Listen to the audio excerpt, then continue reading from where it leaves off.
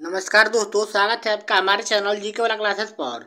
तो दोस्तों, आज की इस वीडियो में देखने वाले हैं सात अगस्त के मोस्ट इंपोर्टेंट करेंट अफेयर इस वीडियो में जितने भी पॉइंट्स और क्वेश्चन लिए गए हैं, वो सभी पॉइंट्स और क्वेश्चन एग्ज़ाम के दृष्टि से सेलेक्ट किए गए हैं और वो सभी बहुत ही इंपॉर्टेंट है। तो अब हमारे से वीडियो कन तक बने रहिएगा और मैं अभी यहाँ पर, ये सात तारीख का है, जबकि आज आज आज नौ तारीख है, क्योंकि मैं अभी अपने यहाँ पर घर पर नहीं था, किसी कारणवश कहीं चला गया था तो अभी मैं यहाँ पर वीडियो अपलोड नहीं कर पाया हूँ।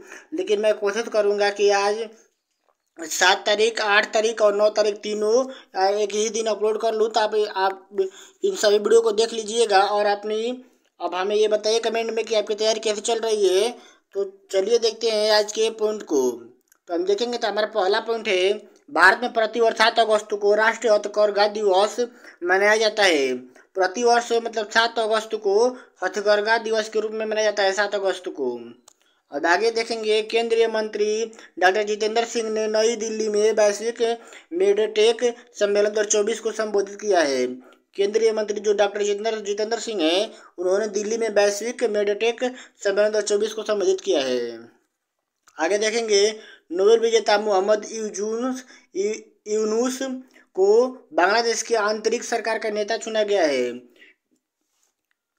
आगे देखेंगे, शक्ति गतिशील विश्वविद्यालय ने एयरबस के सहयोग से नई दिल्ली में विमानन क्षेत्र के लिए अपना पहला कार्यक्रम, कार्यकारी प्रशिक्षण कार्यक्रम शुरू किया है।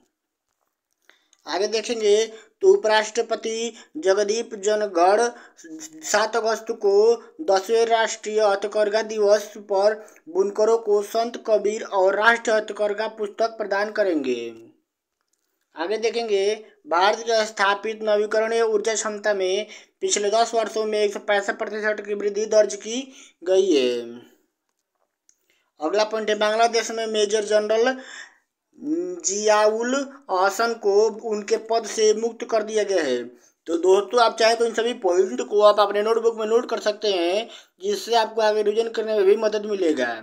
तो हम अगला पॉइंट देखेंगे, दो हज़ार चौबीस फार्च्यून ग्लोबल 500 सूची में रिलायंस इंडस्ट्री लिमिटेड शीर्ष रैंक प्राप्त करने वाली भारतीय कंपनी बन गई है।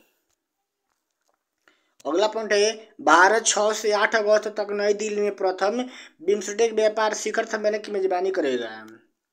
अगला पॉइंट देखेंगे, पेरिस ओलंपिक में पचास किलोग्राम फ्री स्टाइल महिला कुश्ती में विनेश पोगाट ने सेमीफाइनल में क्वालिफाई कर दिया है।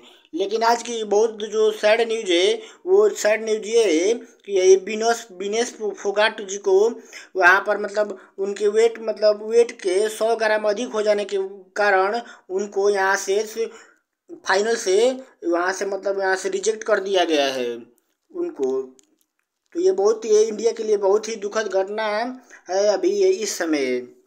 तो आगे देखेंगे, अब देखेंगे सात अगस्त के करंट अफेयर हमारा पहला क्वेश्चन है फिजी के सर्वोच्च नागरिक सम्मान companion of the order of Fiji से किसे सम्मानित किया गया है? तो इसका राइट आंसर हो जाएगा Droupadi Murmu option A the right answer question number दो है, भारत ने पहले बहुराष्ट्रीय हवाई अभ्यास तुरंग शक्ति दो चौबीस की मेजबानी किस राज्य में की, राज्य से की है? तो इसका right answer Tamil Nadu.